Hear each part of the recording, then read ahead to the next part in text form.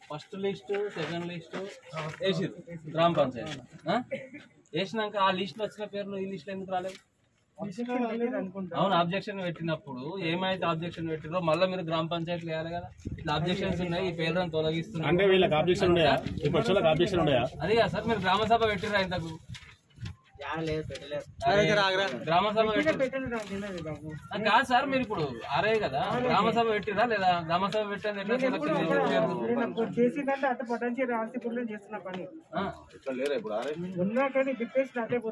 మరి ఇక్కడ గ్రామ సభ పెట్టి? ప్రభుత్వం చేసినటువంటి చట్టాలను ప్రభుత్వం తీసుకొచ్చిన జీవోలు ప్రభుత్వం తీసుకొచ్చిన శాసన బిల్లులను ప్రభుత్వం ఎట్లా చేస్తుంది?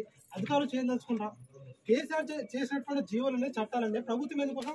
అధికారులు ఎందుకోసం ఇంప్లిమెంట్ చేయట్లేదు? ఈ రోజు అనేక మంది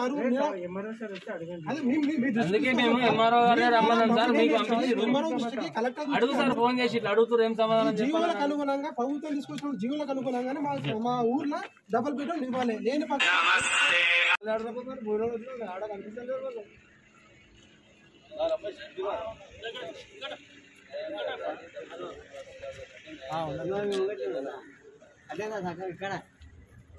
న్యాయం జరగాలి డబుల్ బెడ్రూమ్ల లబ్ధిదారులకు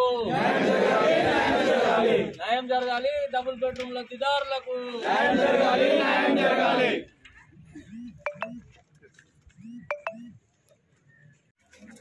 తెలంగాణ వచ్చిన తర్వాత డబల్ బెడ్రూమ్ ఇస్తామని చెప్పి ఏడు సంవత్సరాల నుంచి ప్రజలను ఊరించి ఊరించి ఈరోజు డబుల్ బెడ్రూమ్ ఇవ్వడం జరుగుతుంది.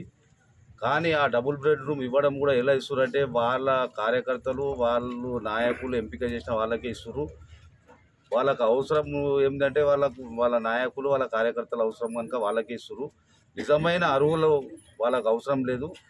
ఈ డబుల్ బెడ్రూమ్ ఇవ్వాలంటే గ్రామంలో గ్రామ పంచాయత్లో గ్రామ సభ సర్పంచ్ అధ్యక్షతన కానీ ఎంఆర్ఓ గారు ఆర్ఐ గారు అందరూ కూడా గ్రామంలో గ్రామ సభ నిర్వహించి ప్రతి ఇల్లు తిరిగి ఎవరు అర్హులు ఉన్నారు ఎవరికి ఇల్లు లేదు ఎవరు అనర్హులు ఉన్నారు అనేది గ్రామంలో ప్రతి ఇల్లు తిరిగి లబ్ధిదారులను ఎంపిక చేసి ఇవ్వాలి కానీ కేవలం వాళ్ళు ఇష్టానుసారంగా ఎవరికి పడితే వాళ్ళు రాసుకొని డబుల్ బెడ్రూమ్ ఇవ్వడం జరుగుతుంది. ఇది ప్రభుత్వం అనుసరించిన జీవోలో కూడా చట్ట విరుద్ధంగా ఇవ్వడం జరుగుతుంది కనుక వీటిని వెంటనే ఆపేసి సరైన లబ్ధిదారులను ఎంపిక చేసి గ్రామంలో ప్రతి ఒక్కరిని తిరిగి ప్రతి ఒక్క లబ్ధిదారుని ఎంపిక చేసి గ్రామ సభ నిర్వహించి ప్రతి లబ్ధిదారునికి డబుల్ బెడ్రూమ్ ఇవ్వాలని కోరుచున్నాము.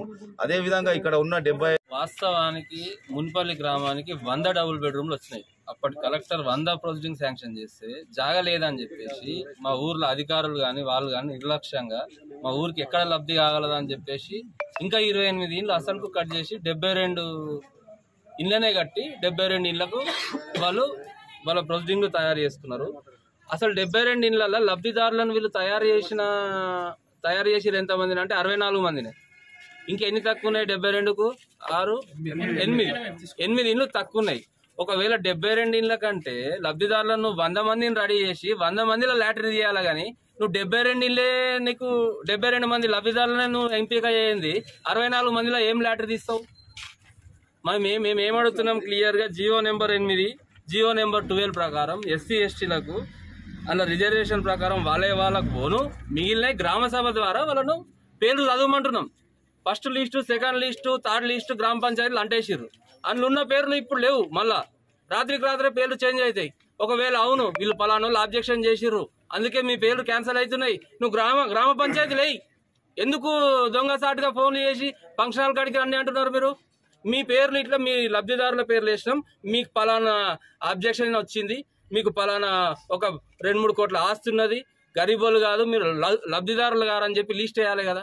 లిస్ట్ అర్హుల లిస్టు తుది జాబితా అని చెప్పి వాళ్ళ పేర్లు ఉంటాయి. రాత్రికి రాత్రే మళ్ళీ పేర్లు చేంజ్ అవుతాయి. పేర్లు చేంజ్ అయ్యి ఇప్పుడు సాటు సాటుకు ఫోన్ చేసి ఫంక్షన్ హాల్కి పిలుస్తారు. ఇప్పుడు మేము పోతేనేమో కేసులు.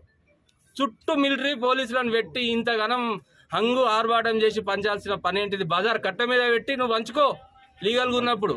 గ్రామ పంచాయతీలో పెట్టు బజార్ కట్ట మీద పెట్టి వంచుకో దీనిని మేము తీవ్రంగా ఖండిస్తున్నాం. న్యాయంగా న్యాయస్థానాలు ఉన్నాయి కాబట్టి మేము తహసీల్దార్ గారికి ఫిఫ్టీ పర్సెంట్ ఎస్సీ ఎస్టీలకు ఇవ్వాలి సెవెన్ పర్సెంట్ మైనార్టీలకు ఇవ్వాలి గవర్నమెంట్ ఇచ్చిన పద్ధతినే అసలు వీళ్ళు అధికారులు నిర్లక్ష్యంగా మాకు సర్పంచ్ ఉన్నాడో లేదో తెలియదు మాకైతే.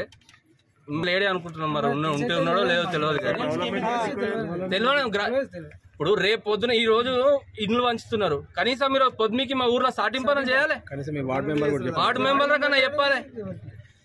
లబ్ధిదారులు మీ అందరు ఏమనుకుంటారు అంటే మా పేర్లు కూడా వచ్చినాయేమో అని చెప్పి ఫస్ట్ లిస్ట్ సెకండ్ లిస్ట్ సంప్రదించినాం ఎన్నో దరఖాస్తులు ఇచ్చినాం ఎన్నో వినతి పత్రాలు ఇచ్చినాం. అన్ని లిస్ట్ రాత్రికి రాత్రి మొత్తం పొలిటికల్ గేమ్ రాత్రికి రాత్రి చేంజ్ చేసి దారుణమైన పరిస్థితి మున్పల్లికి చేసిర్రు. ఉన్న వాళ్ళకి రాసుకుంటున్నారు వాళ్ళు ఉన్న వాళ్ళకే రాసుకుంటున్నారు. కొంతమంది అయితే ఇక మేము పార్టీలు ఉన్నామని అలిగిన వాళ్ళకి కూడా రాసిర్రు. అది కూడా నడిచినాయి. సరే ఇప్పుడు దీని ద్వారా మేము